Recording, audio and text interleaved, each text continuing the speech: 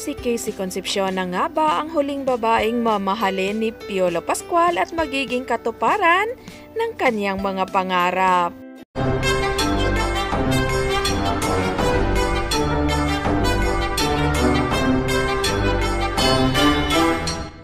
Walang mag-aakala na pagkatapos ng isang dekada, ay muling madugtungan ang masalimuot na kwento sa pag-iibigan ni Piolo Pascual at Casey Concepcion.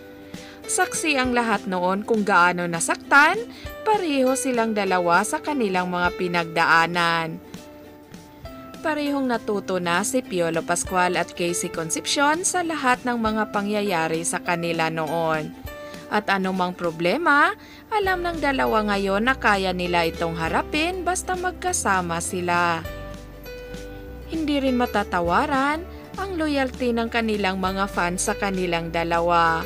Magpahanggang ngayon, loyal pa rin ang mga ito at ipinagtatanggol si Papa P at Christina mula sa kani-kanilang mga bashers. Hindi na nga nananahimik ang mga bashers ng dalawang ito simula nitong nakaraang taon kung kailan ay sumabog ang balita patungkol kay Casey Concepcion at Piolo Pascual. Marami na ang nagsusulputang paninira at mga pambabas lalong-lalo na kay Piolo Pascual.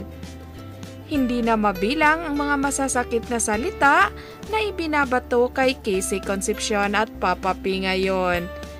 At dahil sa masakit na karanasan sa kanilang mga bashers, napilitan si Piolo at Casey Concepcion na itago muna ang tunay nilang relasyon. Naniniwala ngayon ang kanilang mga tagahanga na aamin rin sa publiko ang dalawang ito lalong-lalo na si Papa P.